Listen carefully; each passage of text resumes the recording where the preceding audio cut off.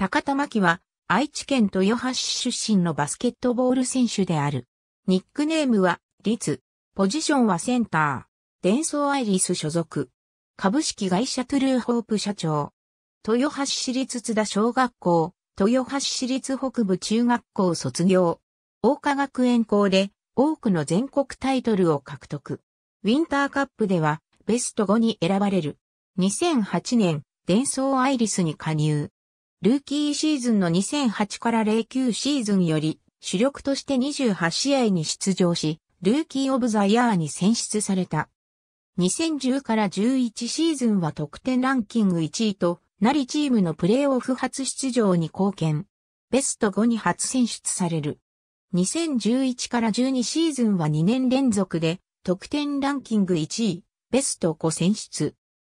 2012から13シーズンは故障のため、リーグ公式戦出場は3試合のみにとどまった。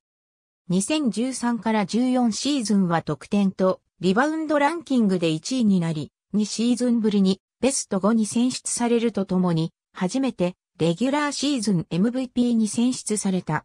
プレーオフでもチーム初のファイナル進出に貢献。2018年からバスケットボール女子日本代表のキャプテンを務めている。2020年4月6日、バスケットボール選手を継続しながら、主にイベント業を取り扱う株式会社トゥルーホープを設立し、社長に就任。8日には、オンラインサロン、高田巻女子アスリート社長室を開設。ありがとうございます。